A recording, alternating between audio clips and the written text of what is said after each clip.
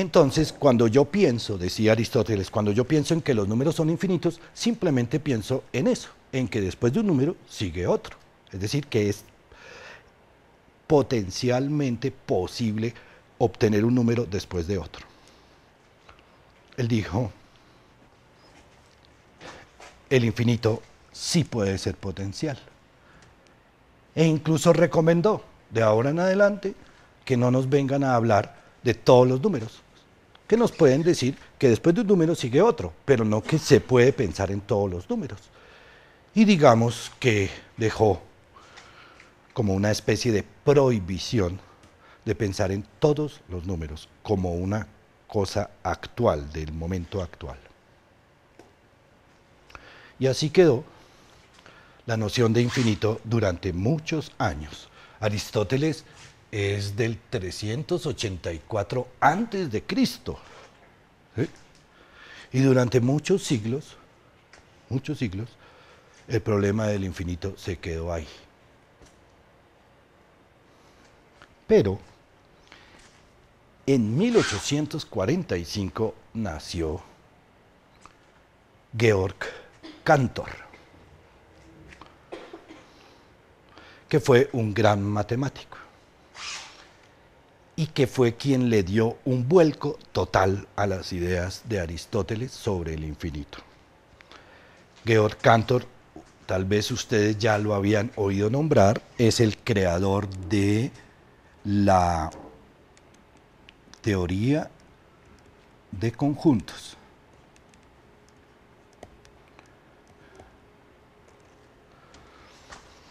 De eso yo creo que han oído hablar en el colegio. El conjunto A unido al conjunto B. El conjunto A intersección el conjunto B, etc. ¿Sí? ¿Se han oído de eso? Los conjuntos.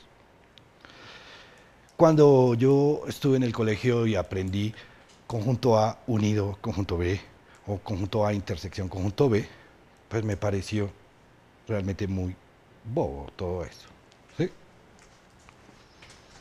Por ejemplo, a uno le, le enseñen que si el conjunto A tiene estos elementos A, B, C, y el conjunto B tiene los elementos B, C, D y E, le preguntaban a uno los profesores cosas muy simples como estas, A unión B. Entonces uno decía, hay que coger todos los que están en, en un conjunto o en el otro. Entonces quedan a, B, C, D y E. Y también le preguntaba a uno el profesor A intersección B. Y en ese caso había que escoger los elementos que están en un conjunto y están en el otro. Los únicos que están en ambos son B y C. ¿Sí o no? Y cualquiera se podía dar cuenta, por ejemplo, que A intersección B, que contiene los elementos B y C, es un subconjunto de A, porque es como más grande o igual. La teoría de conjuntos que uno aprende en el colegio dice cosas así de simples, de cierta forma bobas. ¿Ustedes creen que Cantor se recordaría si se hubiera inventado esa teoría tan boba? No. No es por eso. Creó la, teoría de conjuntos, pero la teoría de conjuntos va mucho más allá de eso de unión e intersección. Sobre todo, Cantor descubrió algo sobre el infinito, algo que Aristóteles y nadie, ningún otro sabio antes de Cantor había descubierto. Y es de lo que vamos a hablar hoy, y se van a quedar perplejos. Cantor pudo ver más allá del infinito. Cantor, ahí donde se ve, ve todo un profesor, todo serio, estaba un poco chiflis, era loco. Cantor es a las matemáticas como Van Gogh es a la pintura. Ustedes saben que Van Gogh fue un pintor muy importante del siglo XIX, revolucionó la pintura con el impresionismo, pero que Van Gogh estuvo un poquito chifles, estuvo varias veces en el manicomio. Un día se cortó una oreja Van Gogh.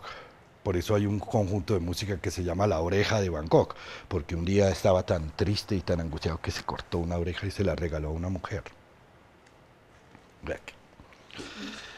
Luego, como varias veces estuvo en el manicomio, un día, después de salir del manicomio, se suicidó. Georg Cantor también, en múltiples ocasiones de su vida, estuvo recluido en una clínica de enfermos mentales.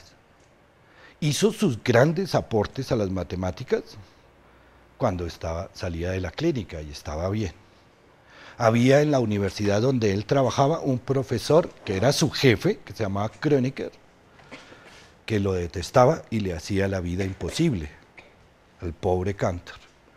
Cantor fue mucho mejor matemático que su jefe, Kronecker. Cantor no se suicidó, pero sí fue un enfermo mental. Sufría ataques de locura. Y tenía que ser alguien así el que pudiera ver más allá del infinito. Una de las cosas que dijo Cantor es que el infinito actual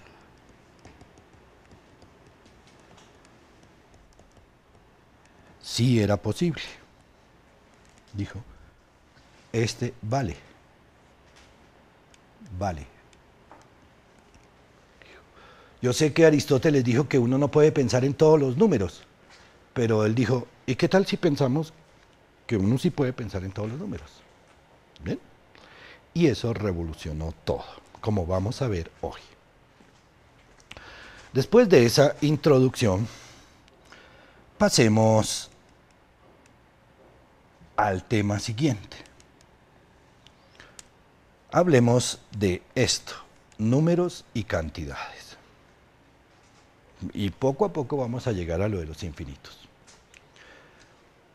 En la primera clase les dije que cuando pensaran en un número tenían que diferenciar muy bien la representación del número y la cantidad que representa el número. Eso lo tienen claro.